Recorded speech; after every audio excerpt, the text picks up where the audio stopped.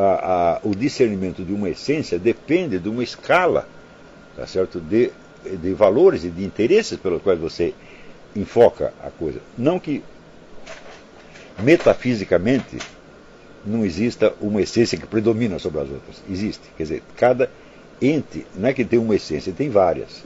Ele é, por assim dizer, um aglomerado de, de, de, de essências, tá certo?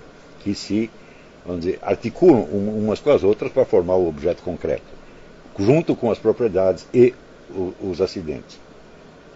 Você pode dizer, existe um ponto de vista predominante que possa predominar sobre os outros e, e subordiná-los? Existe o ponto de vista metafísico, que é o ponto de vista da estrutura da realidade. Tá certo? Porém, este ponto de vista só predomina desde o ponto de vista de quem está estudando metafísica. Tá certo? Para o, o zoólogo ou para o comerciante de gado, isso é muito secundário. Quer dizer, qual é o lugar da vaca dentro da escala geral do ser?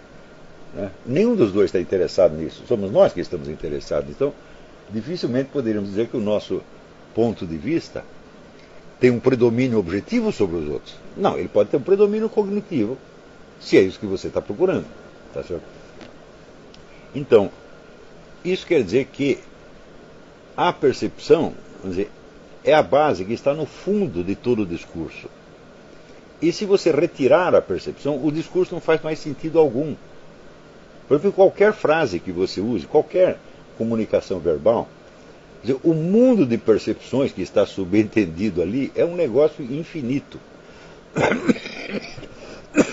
Quer dizer, você entra no supermercado e pede para o sujeito, vamos dizer, uma salsicha. Você pergunta quanto custa essa salsicha. Agora, pegue essa frase, suprima dela a existência do supermercado, a existência da salsicha, a fábrica da salsicha, tá certo? E tudo mais que está envolvido na situação, a frase não significa mais nada. Isso quer dizer que toda comunicação verbal ela é intermitente, ela é escandida por percepções que estão no fundo e que dão o sentido daquilo que está sendo falado. Por isso mesmo, a ideia de estudar a língua como se fosse um sistema, bom, ela é justa, porque sob certos aspectos a língua é um sistema mesmo mas no seu funcionamento real ela nunca é um sistema. Ela está sempre em aberto. Você, por exemplo, se você está num país estrangeiro, você fala mal a língua, isso significa que você não domina o sistema gramatical. O que, que você faz? Você indica os objetos do quais você está falando. Tá Ou você faz uma, uma careta, um gesto, etc, etc. Suprima tudo isto e a comunicação se torna impossível. Tá então, isso quer dizer que a língua só é um sistema do ponto de vista do linguista estrutural que a está estudando. Mas em si mesma, ela jamais é um sistema. Nunca. Um sistema pressupõe que é uma coisa fechada, completa em si mesma. Né? E uma língua que fosse completa em si mesma, ela dispensaria a presença dos objetos e do mundo. Ela poderia ser estudada em si mesma. Agora, você pega, por exemplo, a, a é num dicionário, se você pega um dicionário, o que é o sentido de uma palavra? São outras palavras que a explicam. Mas isso é só assim dentro do dicionário. É? No uso real da linguagem não é assim. Então, muitas vezes os linguistas, os discípulos de Ferdinand de Saussure, eles pensam que o mundo é um dicionário. Né? E, evidentemente, o impacto dos estudos linguísticos é, criou, por assim dizer, esta impressão, esta segunda realidade. Né? E tem. É, até, tem até um poema do, do Carlos Drummond de Andrade que fala da, da planeta Terra como um, um monte de signos, né? está tatuada de signos e de cálculos. Eu digo, olha, a, Terra já estava aí antes que alguém dissesse a primeira palavra, quer dizer, ela é uma realidade por si mesma, independentemente da, dos signos que nós tatuamos nela. Tá Porém, nós podemos falar tanto, tanto, tanto, tanto, tanto, que nós prestamos atenção dizer, a essa rede de discursos e imaginamos que eles contêm o objeto, quando qualquer objeto, uma pulga, é mais rica e mais complexa do que qualquer discurso. Tá certo? Então, este é um ponto que nunca será exageradamente enfatizado.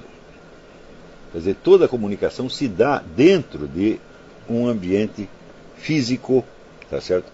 que a sustenta e sem a qual ela simplesmente não existe. Isso quer dizer que nunca podemos tomar o discurso como objeto de análise em si mesmo, fazendo abstração do universo que está dizer, em torno. Mesmo porque você, você faz você falar, bom, você tem que produzir uma onda sonora, essa onda sonora tem que ressoar no tímpano do outro, senão ele não ouve nada e não houve comunicação alguma. Aonde se deu essa transmissão? Foi dentro da linguagem ou foi dentro do universo físico? Hã? Então, basta isso aí para você ver que a ideia de que a linguagem é um sistema é uma das ideias mais cretinas que existe. Você não pode dizer, a, a, a linguagem é uma sistematização, não um sistema. É uma tentativa de sistematização. Tentativa que vai falhar pelos séculos dos séculos. Ou seja, sempre dependeremos da referência a objetos de percepção tá certo? que, por assim dizer, colam as palavras umas com as outras. Hum?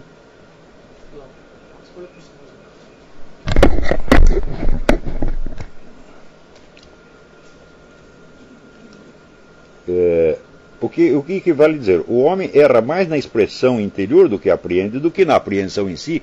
Isso é a coisa mais óbvia do mundo. Claro que pode haver percepções erradas. Mas em que sentido é uma percepção errada? Você viu um gato e achou que era um tatu. Hã? Mas o tatu apareceu na sua percepção ou na sua interpretação dele, do, do gato? É? é na interpretação, evidentemente. A percepção em si, ela é sempre exata, ou então não é uma percepção, é uma invenção da sua cabeça. Então isso quer dizer que nós conseguimos nos comunicar uns com os outros porque nós continuamente nos reportamos a um mundo de experiência comum, que o mundo da linguagem comum imita longínquamente. Mas basta faltar uma referência externa, uma referência de, de percepção, para que a comunicação se torne inviável ou para que nela se introduzam erros é, fantásticos. Você vê que hoje em dia, com o negócio dos computadores, internet, etc., etc., se criou dizer, uma rede de signos verbais e visuais que tem, que ela, ela própria é uma realidade física, por assim dizer, mas ela tende a encobrir o mundo do qual ela, ela fala. E isso significa que a experiência está se tornando, está sendo cada vez mais substituída por signos, e as pessoas acreditam que esses signos são coisas reais.